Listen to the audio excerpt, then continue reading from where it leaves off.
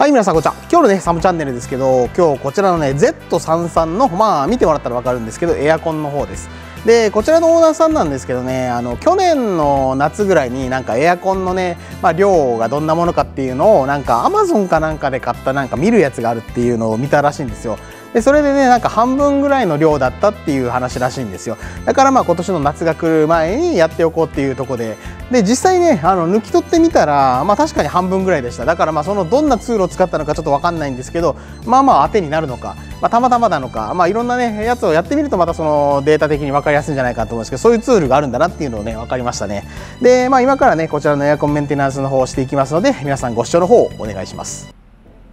それではね、作業の方やっていきます。まずね、作業前、吹き出し口温度はね、6.8度です。まあ、よく冷えてるんじゃないかなって思いますね。まあ、このテロはね、やっぱコンプレッサー大きいんで、まあ、それなりにね、やっぱり冷えるんじゃないかなと思います。で、ガス規定量 550g のね、275g 入ってて 275g 少ないっていうところ。まあ、だからちょうど半分ね、減ってるっていうところです。で、こちらのオーナーさんがね、あの、来た時に、なんか Amazon で買ったそのガスの量を見るやつ、どんなものかわかんないですけど、それで見たらね、半分ぐらいで出ましたって言ってたんですけど、本当に半分でしたね。だから、まあそのツールがね、正確なのかはまだわかんないですけどね、他の車で試しても同じような数字が出る、まあ同じようなね、量が半分とか3分の1とか出るっていうのと、この機械で吸ってる分でね、出るのが一緒だったら結構いいツールかもしんないですね。で、どんなのですかってオーナーさんに聞いたんですけど、1年ぐらい前に買ったからもうよく覚えてないっていう、もう本当見るだけで使ったっぽいような感じですね。まあ、それでね、今回夏が来るね、本番前にね、夏本番前に、まあ、施工の方をしてほしいっていうことでね、まあ、入稿いただいたっていうとこです。で、まあ、見事にこういう結果になったんでですね、まあ、入れてよかったんじゃないかなと思いますね。で、今からね、今度、フラッシングの方をして、まあ、洗浄の方をね、やっていくっていう流れになります。液化したガスで、まあ、配管内のね、洗浄の方をやっていきます。で、今ね、入ってる数字ですね。これが増えてるのがガス、液化したガスが入っていってます。それで配管内洗浄をして、まあ、汚れですね、と古いコンプレッサーオイル等を取って、また新しいコンプレッサーオイルを入れるっていうね、エアコンのフラッシングの方をやってます。で、こちらのね、Z なんですけど、まあ、車の方をね、見たときに、まあ中にバケットシートとかね、ついてたんですよ。だからなんか走ってたりしてるんですかっていう話をしたんですけど、まあそういうのはね、特にやってないっていうところで。ただね、興味はあるっぽさそうでしたね。で、やはりね、こう、まあ、サムさんとこね、やっぱサーキットでイベントも開いてるっていうのもあってね、やっぱサーキット皆さんに走ってもらえるんだったらね、走ってもらいたいって思ってる人なんですよね。だからまあ、どうですかっていう話をね、ちょっとしてみました。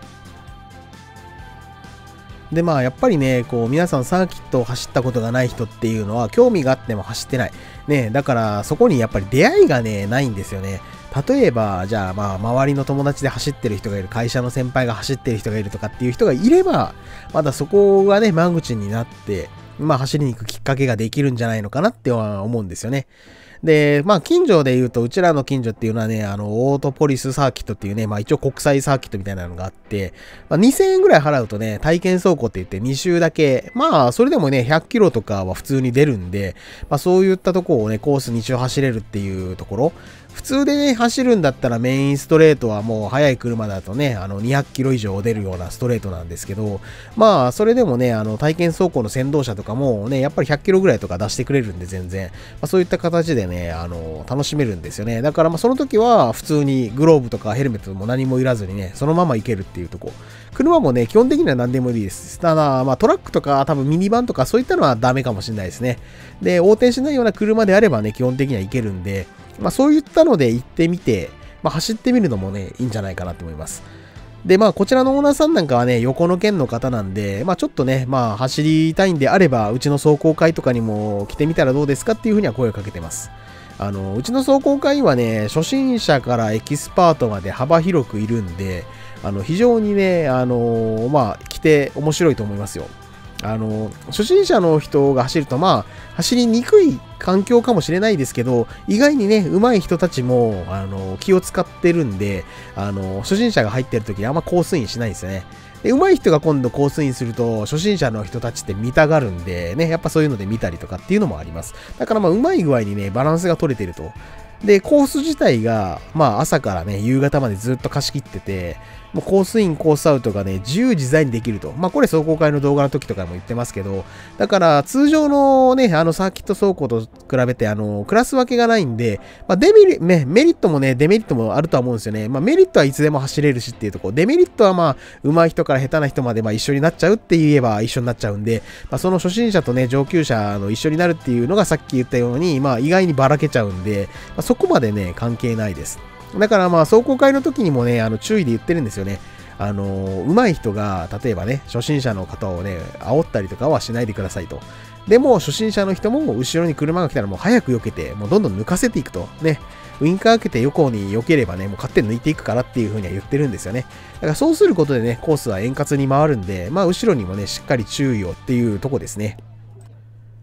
で、まあ結構ね、で、走りのジャンル的にも、まあドリフトからグリップまでね、あの、幅広く、あの、コンソーでやってます。えコンソーでやってるとね、危ないんじゃないかって思いますけど、やっぱりコースの台数の制限、まあね、エントリー台数がもうマックス30台までにしかしてないっていうところで、で、コースインがね、あの、一度に30台ってまずないんで、だからまあ一度にね、5、6台コースに入ってても、全長が2キロぐらいあるコースだったら、全然スカスカなんですよね。だから全然危なくともなんともないっていうとこ。だからうまいことほんとできてますね。だから、あとはね、もう身内同士でね、あの、接近した、まあ、グリップであり、ドリフトでありする分っていうのは問題ないんですけどね。だからそういうのでね、事故る分は、正直 自己責任っちゃ自己責任じゃないですか。まあ、その他の事故でも自己責任なんですけど、ただね、あのー、そういうのじゃなければ皆さん、あのー、ね、あの、接近して煽るみたいなこともないんで、ね、まあ、円滑に行くと思ってます。